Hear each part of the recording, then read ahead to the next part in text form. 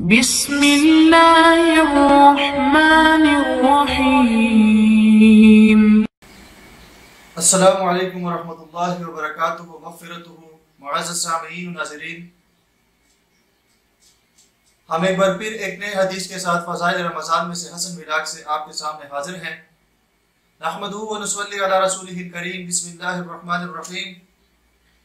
हुजूर सल्लल्लाहु अलैहि वसल्लम का इरशाद है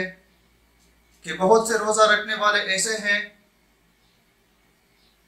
हुजूर का इरशाद है कि बहुत से रोज़े रखने वाले ऐसे हैं कि उनको रोज़ा के समरात में बजुज भूखा रहने की कुछ भी हासिल नहीं और बहुत से शब बेदार ऐसे हैं कि उनको रात के जागने की मुशक्क़त के सिवा कुछ भी ना मिला।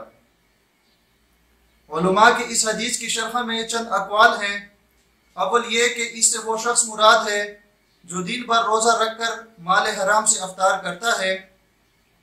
कि जितना सवाब रोज़ा का हुआ था, उससे ज़्यादा गुनाह हराम माल खाने का हो गया, और दिन भर भूखा रहने के सिवा और कुछ ना मिला।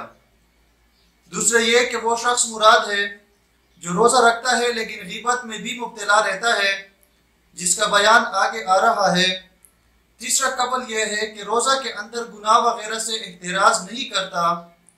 नबी अकरम सल्लल्लाहु अलैहि वसल्लम के इरशादात जामे होते हैं।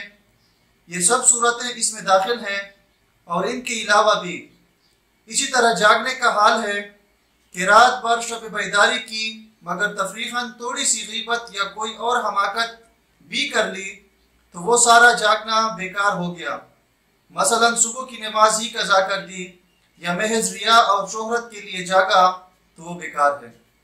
तो बस मेरे भाई दोस्तों, अजीज़ों, अल्लाह शानुहु ने हमें अभी मौका दिया है और इस मौके से हम भरपूर फ़ायदा उठाएँ। रमज़ान का महीना है, अल्लाह शानु का कुर्ब हम बहुत जल्दी थोड़े से अमल करने से भी हासिल कर सकते हैं। आखिरी आसमान पर अल्लाह शानु रमज़ान मुबारक में जिसका मफहूम है अपने अर्श को कायम पजीर कर लेते हैं और हमेशा ये ऐलान होता है कि कोई है मुझसे मांगने वाला कि अता करूँ, कोई है माफ़ी मांगने वाला कि उसकी मफ़रत अता करूँ तो हम इन ऐलानात से महरूम ना रहें और इनसे फ़ायदा उठाकर हम अपनी ज़िंदगी, दुनिया और आखिरत की दोनों की बनाएँ। अल्लाह जल्ल शानु हमें इन तमाम बातों पर अमल करने की और दूसरों तक पहुँचाने की तोफ़ी अता फ़रमाएँ।